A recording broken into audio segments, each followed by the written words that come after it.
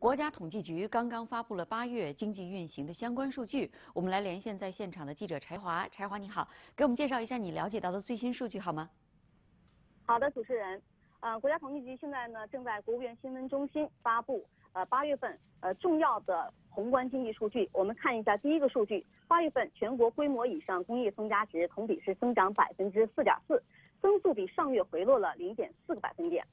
那就表明什么呢？工业生产在全球经济下行以及国内需求减缓的状态下，继续呈现一个放缓的态势。那第二个重要数据是消费，我们来看一下，八月份社会消费品零售总额三万三千八百九十六亿元，同比增长百分之七点五，增速比上月回落零点一个百分点。啊，我们其中强调一下啊，呃，扣除汽车以外的消费品零售总额增长百分之九点三，比上月加快了零点五个百分点。那也就是说呢，汽车消费的低迷依旧是影响整体消费的一个核心原因。不过目前我们也看到，国家出台了一些针对汽车消费的一些措施，会对未来的这个预期呢有所提升。啊，第三个重要数据是投资，我们来看一下，一到八月份全国固定资产投资是四十万零六百二十八亿元，同比增长百分之五点五，增速呢比一到七月份回落了零点二个百分点。那分分领域看呢，基础设施投资是增长百分之四点二，比一到七月份加快了零点四个百分点。